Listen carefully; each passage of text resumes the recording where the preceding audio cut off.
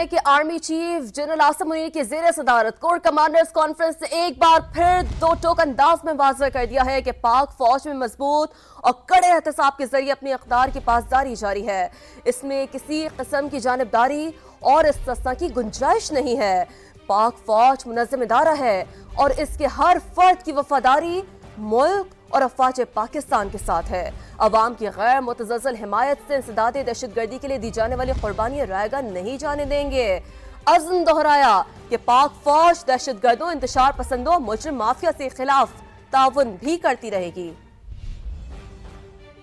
Army chief general Syed Asim Munir की जेर सदारत कोर कमांडर्स कॉन्फ्रेंस फौज में कड़े एहतसाब के निज़ाम पर अमल दरामद इदारे के इस्तेकाम के लिए लाजिम करार। दो टोक कहा गया कि कोई भी इस अमल से बालातर या मुस्तना नहीं हो सकता। फौज एक मुनजम इदारा है, जिसके हर फर्द की पेशा वराना महारत और वफादारी सिर्फ़ रियासत और अफवाज पाकिस्तान के साथ है। सिपा सालार ने कहा कि पाक फौज दहशत गर्दों के खिलाफ कानूनी कार्रवाई में हुकूमत और इंतजामिया को ताउन फराहम करती रहेगी। आई एस पी आर के मुताबिक कोर कमांडर्स ने कहा कि पाक फौज अवाम की गैर मुतजल हिमायत से दहशत गर्दी के खात्मे के लिए दी जाने वाली कुर्बानियाँ रायगा नहीं जाने देगी। इजलास में सख्त साइबर सिक्योरिटी इकदाम के ज़रिए कौमी साइबर स्पेस के तहफ़ पर ज़ोर दिया गया। शुरा ने दहशत गर्द नेटवर्क की मिली भगत ऐसी चलने वाली गैर कानूनी सरगर्मियों के खिलाफ जारी कोशिशों आरोप भी मुकम्मल इतमान का इजहार किया। कोर कमांडर्स कॉन्फ्रेंस में कौमी सलामती को दरपेश चैलेंजेस और बढ़ते खतरा के जवाब में ऑपरेशनल हिकमत अमली आरोप ब्रीफिंग भी दी गई शुरखा ने अफवाज पाकिस्तान दीगर कानून नाफिज करने वाले इदारों और पाकिस्तानी शहरियों की बलोचिस्तान और खैबर पख्तूनख्वा में लाजवाल कुर्बानियों को ज़बरदस्त खराज अकीदत पेश किया। दिफाए वतन के लिए जाने कुर्बान करने वालों के इसाले सवाब के लिए फातह खानी भी की गई।